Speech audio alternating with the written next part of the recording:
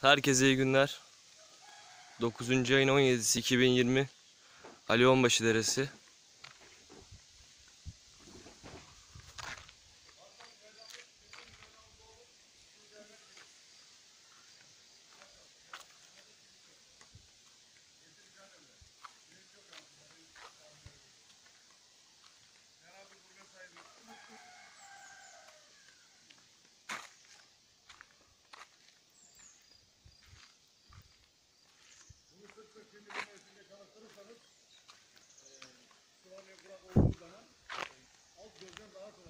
Nalder Ali Onbaşı Deresi piknik alanı belediyenin.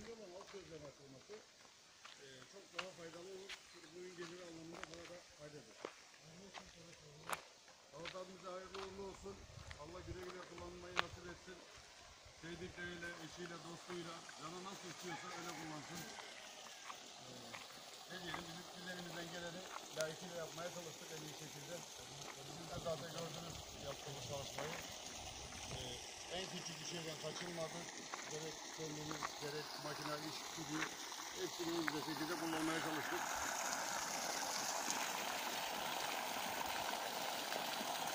Evet Süleyman'cığım. Narıldar Alonbaşı Deresi, Talat abimizin arazisi. Talat adı güzel. Salat adı güzel. Adı güzeli, Şeref adı güzel. Akraması burada. Vesile olan abimiz e, Şeref abi.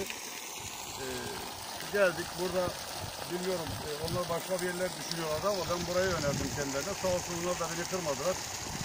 Biz de burada bir çalışma yaptık. İşte netice böyle şükür güzel bir olumlu durum aldık. Burası İzmir Nalgare Alonbaşı Deresi. Şu karşıda gördüğümüz yer, şöyle çekersen Nalgare Belediye'mizin piknik alanı. Şu çam ağacını özellikle çekmeni istiyorum. Çünkü çek, video çekimlerinde bu ağacını hep çektik. Şu yolu çek. Burayı göstermiştik o zaman şu bölgede bir suyu yapacağımızı. Şuradan bir kanal açıp buradan buraya da su alacağımızı. Oradan da oradaki su gelirini de buraya verdik.